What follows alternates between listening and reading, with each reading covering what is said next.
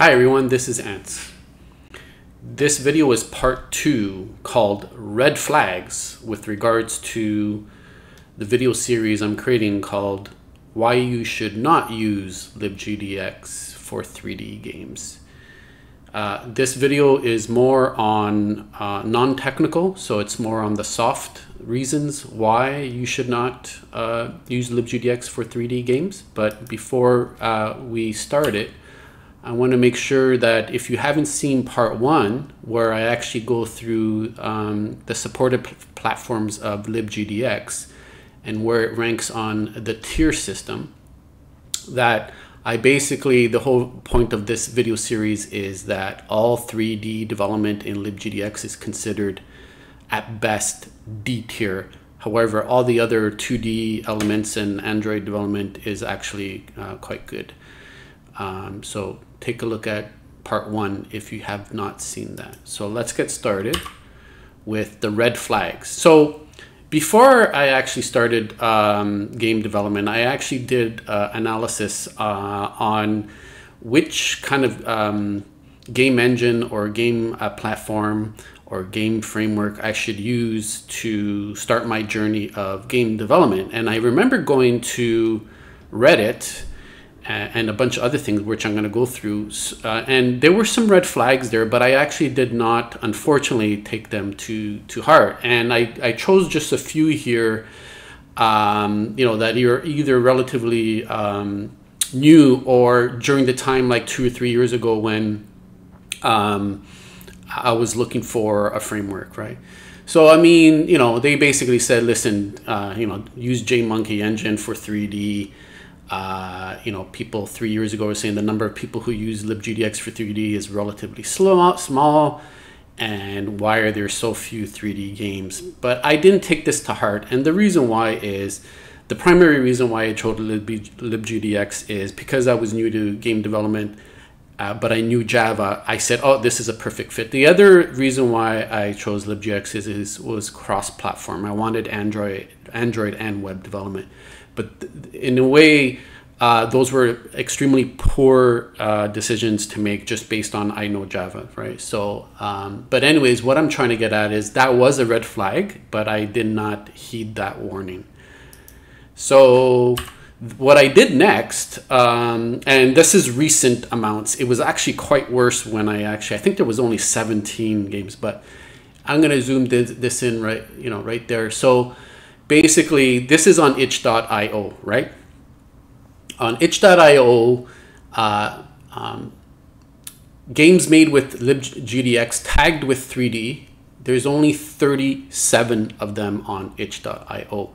And if you take a look at this, I, I, I, clicked on most recent, and because that's important too, because you know if previous games 10 years ago were made with uh, libgdx, that person's no longer making it. But there's only 37 of them, and keep in mind that if you remove all of my 3D games and Monstrous's 3D games and James T. Khan's 3D games, you're down to like 25. Like if you remove three people from um, their games from the list of games made with uh, 3D games made with libgdx, you'll be down to 25 examples of 3D games uh, made with libgdx. Okay. Now, how does that compare with other open source um, uh, game engines that uh, you can do 3D? So this is Godot, and there's 2,500 um, um, games that are tagged 3D uh, made with Godot, right? So as you can see, it's the same. So it's basically uh, a hundred times more. A hundred times more. And um, if you look at Unity, right, there it's closer to 20, like it, that's, you know, it's like 800 times more, but it's closer to a thousand times more.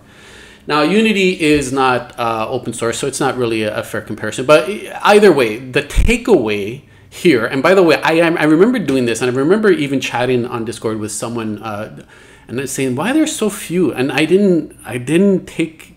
It's like I was just blinded by, "Oh, it's Java," or "I'm so excited."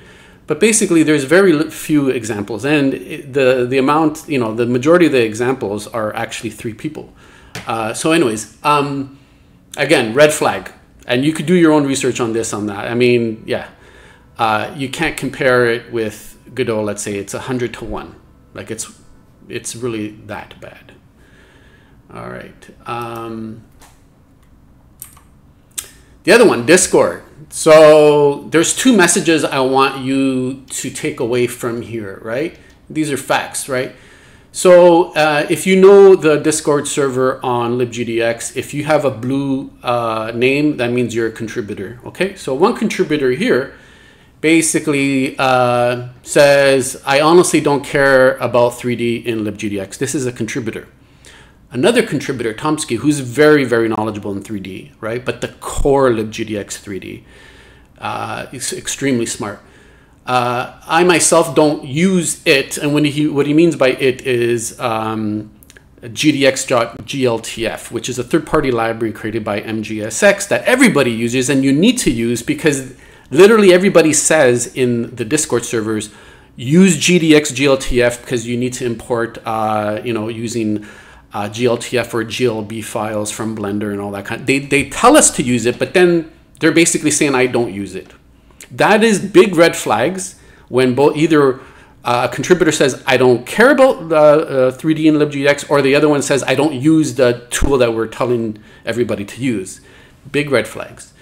Um, the other message I want to convey is basically, you, you know, when it comes to 3D, it's crickets, like silence. Like there's there's no there's the help is very scarce and the actual engagement is very low, which adds to the more reinforcement of the itch page that I just said that literally nobody is using 3D for libgdx. So basically, I'm frustrated to hear that uh, you know every time I have a question, I get crickets when I ever you know have a question of GDX GLTF.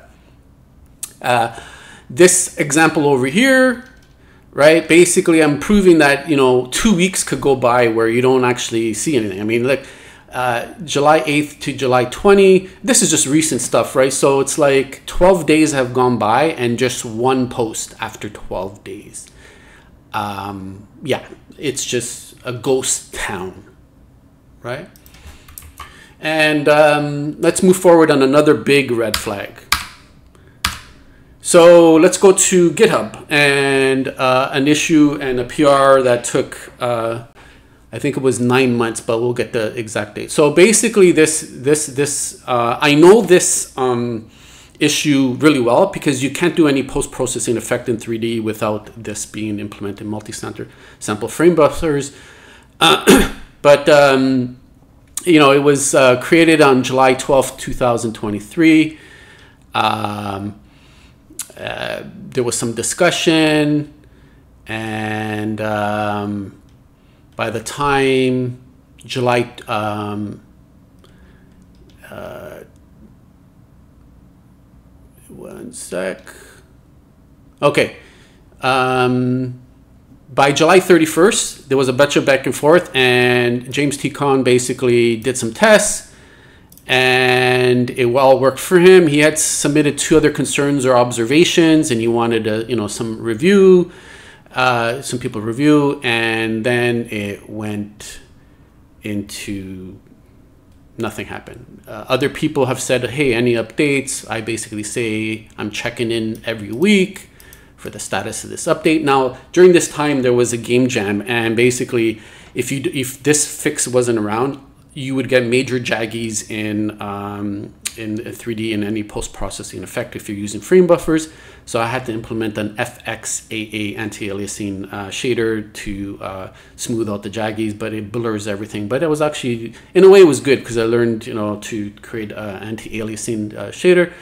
Um, and um, and I had to reinvent the wheel FXAA basically. But anyways, um, but um, I then on October, so look, from August to October, I go, listen, hey, is there anything the community can do to help uh, the libgdx contributors to reduce the cycle time for PRs to get merged? Because people are waiting.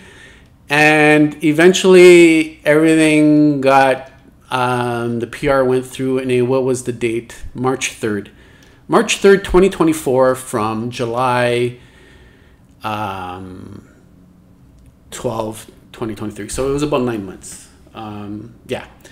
So this is just one example. I mean, it's just the the cycle time of PRs. I mean, compare that to other um, game engines, and it's it's it's bad. Um, so you might be saying, oh, you know, um, you're doing a lot of complaining. Or what are you doing to help out? So basically, um, what I've noticed is there is no kind of roadmap or game plan to make 3D uh, better for libgdx. So I basically said, hey guys, you know what? Let's let's just put like top 10 things that we need to kind of fix uh, and let's have a roadmap because there's no roadmap. Everybody starts doing their own thing and all that kind of stuff. So I tried this um, uh, three, four months ago. Uh, and, you know, initially I got some traction. Initially I did some stuff and um, it just went silent. So the, in a way, they don't care. Either they're checked out, they don't care, they're using another engine and all that. But I, I tried my best. I tried to make the, uh, the place a better place and um, you know, and there's, you know, I, I, did all this effort to put this this stuff all together and uh, put discussions in, and just crickets, ghost town, right? So yeah, um, yeah. So um, I want to keep the the videos kind of um, short, so uh, I'm gonna end uh, with that, and um, yeah, this is uh, hopefully um, some examples of red flags um, that if you see them, um, I wish I did. I wish I didn't waste uh, two years. Actually, more is closer to three years. But uh, this is the conclusion of the soft, i.e., um, the next videos are going to be more technical and more of a deep dive in terms of examples and data and facts about why you um, should not use libgdx for 3D games. I structured it this this way because a lot of people are uh, are interested in these games of you know they they're contemplating you know doing some 3D uh, game development, and a lot of them might come in there and they won't know what collisions are, physics engines, navigation meshes, uh, shaders, uh, animation, bones, and 3D models, and all the different types of things, and and physics and and raycasting and all this other stuff. And if I started off with all the technical stuff, maybe I would have lost a lot of lot of people. So this is the reason why I went uh, soft uh, skills, like basically soft uh, examples, non-technical examples. Anyways, so that concludes part two, red flags on why you should not use libgdx for 3D games. Thanks and have a great day.